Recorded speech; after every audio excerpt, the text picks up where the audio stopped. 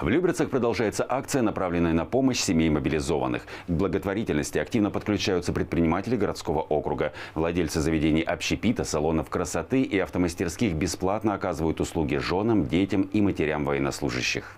За одним столом люди, которые ждут своих близких с передовой, и те, кто поддерживает их в этот нелегкий период. За чашкой чая в уютной обстановке обсуждают не только свои личные проблемы, но и вопросы, связанные с развитием городского округа. У нас есть проблемы, в том числе пешей доступности к метро.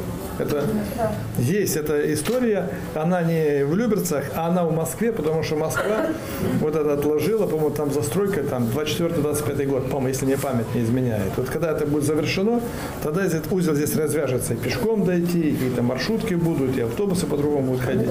Инициатор встречи – депутат 4-го избирательного округа Мигрант Туманов. После объявления мобилизации он сразу подключился к работе по оказанию помощи семьям военнослужащих.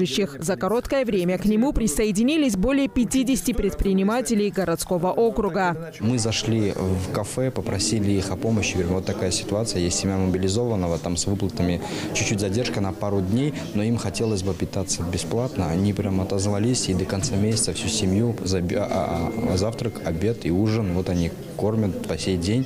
И так все пошло, пошло, пошло. У нас подключились салоны красоты. Они а, выразили готовность дать бесплатную стрижку детям детям, супругам мобилизованных. Даже шиномонтажники позвонили, говорят, слушай, мы готовы там женам мобилизованных там переобуть бесплатно, шиномонтаж бесплатно, скидку на резину. Сейчас большая команда добровольцев курирует 17 семей. Помощь оказывают всестороннюю. От бесплатных услуг стоматолога до организации досуга для детей.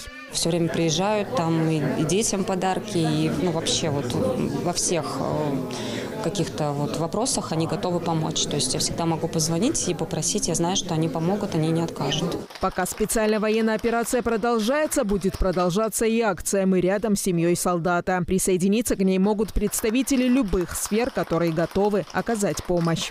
Луиза Игиазарян, Сергей Гвоздев, телеканал ЛРТ.